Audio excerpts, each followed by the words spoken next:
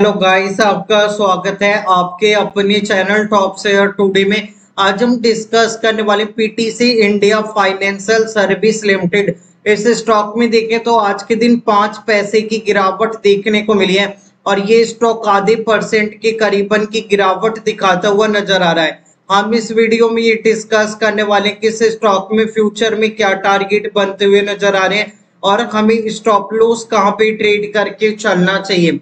सबसे पहले अगर हम टेक्निकल्स पर ध्यान दें तो इस स्टॉक में पीछे के एक सप्ताह में दो परसेंट की तेज़ी देखने को मिली है। एक महीने के अंदर साढ़े आठ परसेंट, तीन महीने में पचास परसेंट, छह महीने में तीस परसेंट और एक साल के अंदर छियालीस परसेंट से भी ऊपर की तेज़ी देखने को मिल रही है। लगातार देखें तो इस स्टॉक के ऊपरी लेवल पर स्टॉक में एक पॉजिटिव ट्रेंड बनता हुआ नज़र आ रहा है। स्टॉक का चार्ट पैटर्न भी देखें तो कुछ इस प्रकार का देखने को मिला है। स्टॉक का चार्ट पैटर्न भी देखें तो स्टॉक में एक लोअर सर्किट लगता हुआ नज़र आया। ट्वेल्व रुपीज़ थर्टी फाइव पैसे।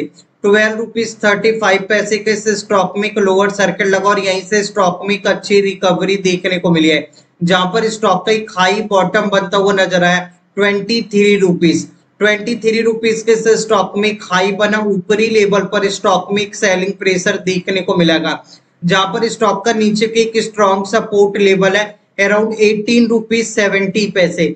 एटीन रुपीज़ सेवेंटी पैसे का स्टॉक में नीचे के एक लो बना, यही से स्टॉक में एक लॉन्ग टर्म के लिए पॉजिटिव ट्रेंड देखने को मिलेगा।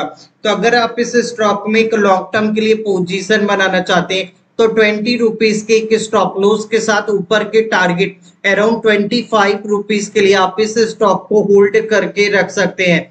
ये वीडियो अच्छा लगे तो चैनल को लाइक सब्सक्राइब करें।